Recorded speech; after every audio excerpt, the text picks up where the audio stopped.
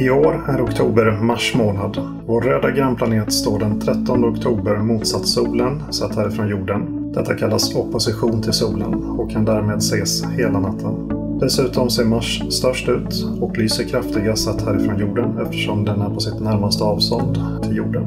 Den 6 oktober är avståndet mellan Mars och jorden blott 38 miljoner kilometer och så nära kommer Mars och jorden inte att vara förrän år 2035. Mars går upp i nordnordöst ungefär samtidigt med solnedgången. Den rör sig i en stor båge över himlen och står högst i syd kring midnatt. Och går sedan ner igen i väst-nordväst ungefär samma tid som solen går upp. Eftersom Mars är så pass nära jorden är den också större än vanligt ungefär 22 vågsekunder. Och det är ungefär hälften så stor som Jupiter genom ett teleskop när Jupiter är som störst. Faktiskt större än Saturnus som annars är en mycket större planet än Mars, men som också ligger mycket längre bort. Den 3 oktober på morgonen möts Mars med månen.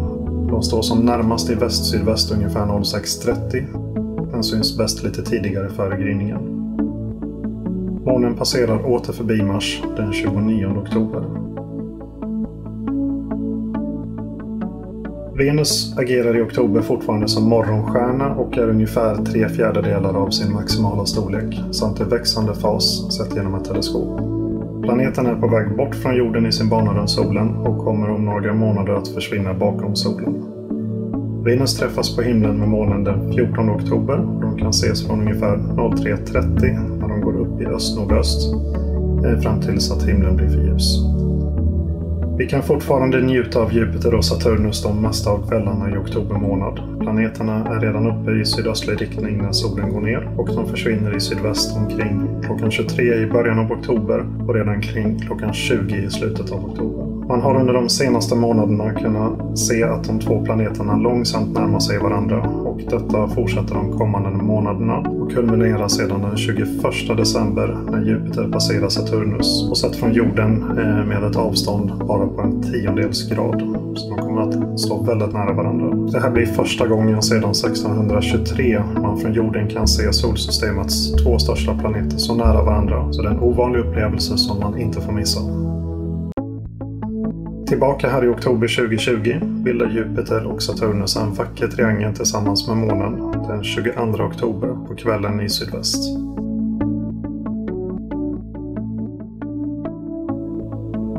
Eftersom det är ungefär 29 och en halv dag mellan två fullmånar och de flesta månader har 30 eller 31 dagar så händer det ibland att en kalendermånad bjuder på två fullmånar med en engelsk beteckning kallas den andra fullmånen i en kalendermånad för en blue moon och därav uttrycket “once in a blue moon” om något som händer ganska sällan inträffar.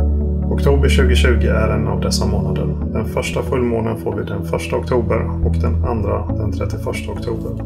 Därmed kommer månen att i tid skapa en extra otäck känsla inför årets halloween.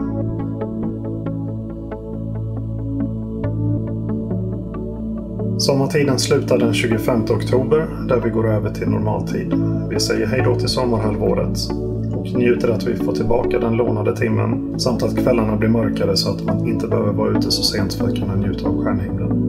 Normaltid som vi riktar oss efter under vinterhalvåret gör det också enklare att planera astronomiska observationer eftersom det är den riktiga tiden som stämmer med jordens rotation där solen faktiskt står som högst i söder klockan 12 mitt på dagen och den midnatt är tidpunkten där solen står som lägst under horisonten, mittemellan solnedgång och soluppgång. På Tycho Brahe-observatoriet visar vi varje stjärnklar måndagkväll upp stjärnhimlen i våra teleskop för allmänheten. Se vår hemsida, tvobs.se, om kvällens visning blir av eller inte. Det är fritt inträde, ingen föranmälan krävs. Har du förkylningssymptom, även mycket lindriga, så ber vi dig att stanna hemma. Det kan bli köbildning eftersom vi endast släpper in en person åt gången i teleskophuset.